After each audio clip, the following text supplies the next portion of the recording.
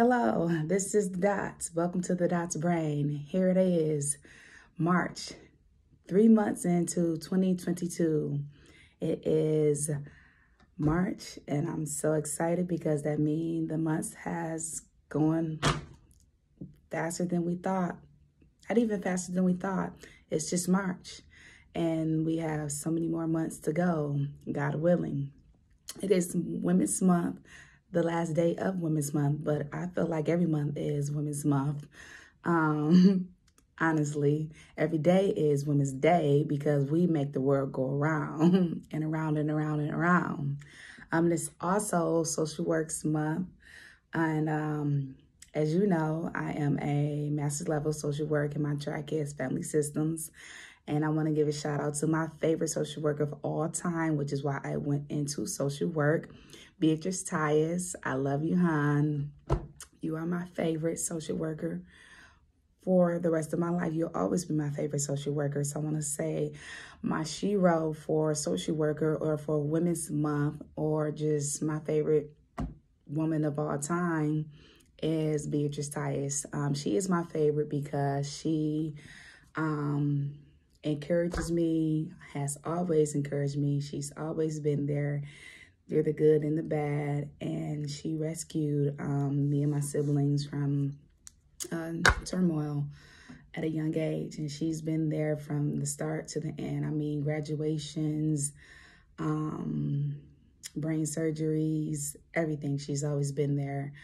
Um, and I appreciate her. I could call her at the drop of a dime and she'll answer that phone. Um, I appreciate her. So she's my shero for Women's Month um, and my favorite uh, social worker. And she also graduated from Wayne State and she's the reason why I wanted to go to Wayne State. As many times as I tried to go there, I finally went there and I succeeded my goal. So shout out to Beatrice Tyus. When I met her, she was actually Beatrice Loggins and then she uh, and then she got married remarried and got married to Mr. Tyus and her husband is awesome too. So shout out to the awesome husbands out there in the world. But we're not talking about men, we're talking about Women's Month. Um, so with that being said, I want to um, say that I hope that um, Ketanji Brown Jackson uh, be the one who goes to the highest court of the land as the first black judge in America. Um, I want her to win so bad. I really do because she checks all the boxes. She checks all, I mean, check all the boxes. So we're going to uh, pray that she gets it. I pray that she gets it because there's no one more qualified than her, period. She should have been in um, one. She's actually uh, the best one out there of all the judges on the on the panel, period. That's even there now. She's better than all of them. Um, but that's what we do as black women. We're overachievers in general. but uh, moving on. Um, what are we reading? This Is what I want to say to my brain buddies. What are we reading? Literally, because right now I am reading um, Dare to Lead by Brene Brown. And um, what I what I take from her, I'm actually still listening and reading it on um, Audible because I'm an Audible person, geek. I have so many Audible books that I have listened. Some of them um, I have actually have a physical copy and some of them I'm just completely just listening to them. Right now, as I said, I'm leading, I'm listening to Dare to Lead by Brene Brown.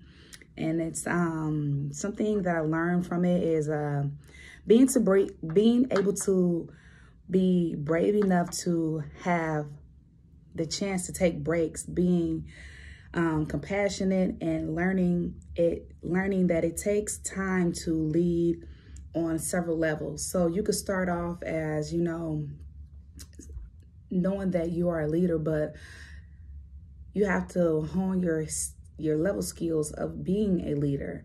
Um, so I, I thought that was uh, very important, and I'm still leading, um, learning to um, lead in different areas in my life. Um, so, yes, that book is really good. Actually, um, I let this, uh, I learned this lady, I met this lady who uh, told me to um, get the book. She said, uh, Dottie, you're a social worker, so you need to be reading this book. And I was like, good. And so I took on, took up, took her up on her uh, word. And uh, I appreciate that she told me to read that book. And um, I'm actually loving it. I really am. Um, I got something, you know me, I stay, I stay with my nuggets. And um, I feel like at, at, this time in our life, that in our, in our uh, cancer survivorship, don't be, don't be so hard on yourself. Um, don't be so hard on yourself because there's always a, a, a battle to, to tackle. There's always something that's going to be coming right around the corner. But don't be hard on yourself because you can tackle that. You've tackled so many other um, situations and heartbreaks, and those were just the tip of the bird. Those, those were just the tip of the ice or whatever. But, you know, you're still doing good. I'm still doing good. Um, life is always going to have challenges. And as long as you can stay positive, I'm not the most positive person all the time, um, but the best thing to do is knowing that when you feel like brain cancer has given you a hard time, remind yourself that you made it to your next breath, your next step, and your next and your next brave moment. And that's really important because every day is not going to be a great day. But as long as you can look up and just see one, two, three, one, one, one thing that made your day say, hmm, I made it. Hmm. Take a breath. Reclaim your time. Reclaim that time. You know what I'm saying? Um, for me, what makes me feel good is a smoothie. Mm -hmm. And I'm and I'm drinking one right now.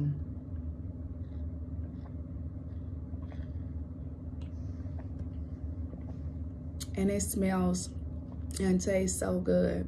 So if I can meal prep a, meal prep my smoothies in the beginning of the week, towards the end of the week, I took my breath away on my own. And it's, you know, I, I think about, for me, I know a lot of our, a lot of my brain buddies, we have those moments where we're like, dang, I wish I didn't have brain cancer or I wish, you know, I was never diagnosed at all. But the fact that you did go through it and that you did um, have that diagnosis, it's okay because we're all in this together. We're all in this together and I'm here for you. We're, we're going through this simultaneously to come out with a better outcome, to have a better life. And we got to keep going. Um, I think one of my uh, issues for me and me just, I'm just keeping it 100 is um, thinking that it's going to come back, the recurrence of it. No matter how many times I go to uh, my brain's uh, scans and my MRIs and stuff, or whatever, every day or every night, maybe not every day, but maybe not every night, but sometimes I may have a, um, I may have a nightmare thinking that, you know, it, it, I had a nightmare saying that my brain cancer came back. And that's real talk for me. I don't know if any of my other brain buddies have this uh, going on, but I know that I do.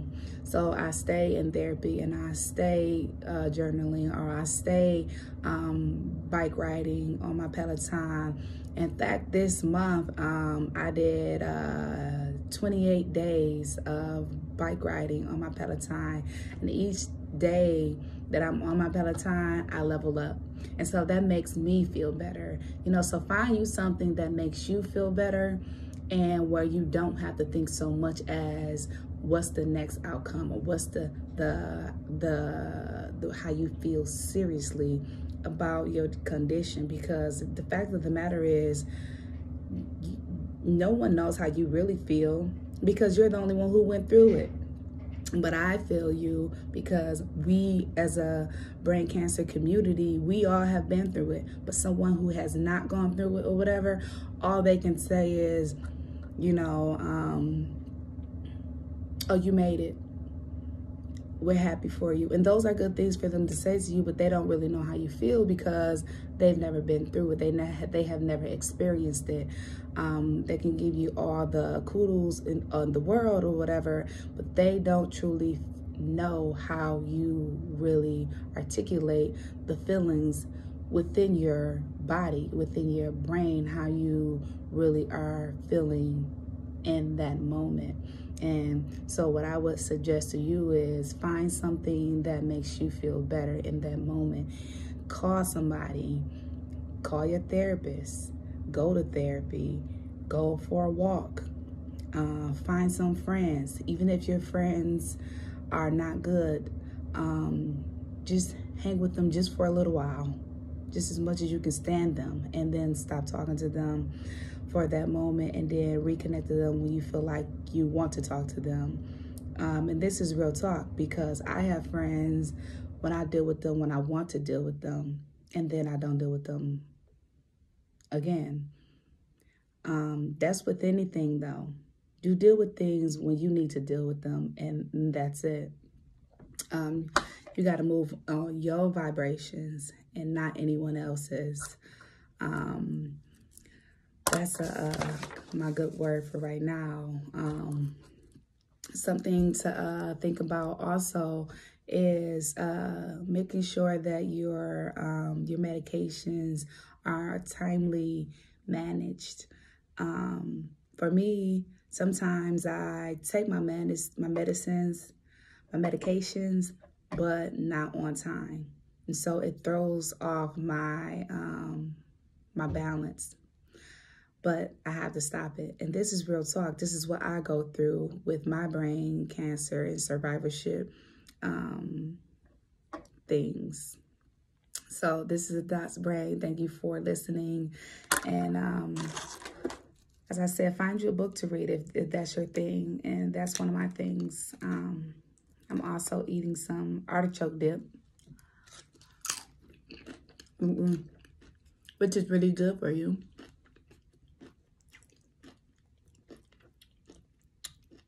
Has all the ingredients and things that you need to be eating. so, as I said, this is the Dots Brain, where you can listen to my journey and my stories and how I feel better about my brain survivorship. And if you need any more important or feel some type of way about how you feel about and how you're going through your survivorship or how you can prepare for your brain cancer uh, MRIs, I'm here for you because I've been through it. Um, one thing that you can do, uh, like right now, is uh, pray. Because that's the only person, that's the only thing that you can do. Nothing's going to change the outcome at the end of the day is to just be aware and to get ready for it. So at the end of the day, this is the Dots Brain. I love you. Keep going. This is Brain. Uh, this is Dots. And I love you. Mwah. Kisses to you and you and you and you. We're going to close out this month strong uh, with uh, Women's Month and Social Workers Month because really, social workers really is get everything done. You can have math, you can have science, you can have everything, but social work is a um, encompasses everything. We do everything. We do everything. We do everything, baby. All right. I love you. This is the Dots Brain. Like and subscribe to my channel and I will hear from you next month.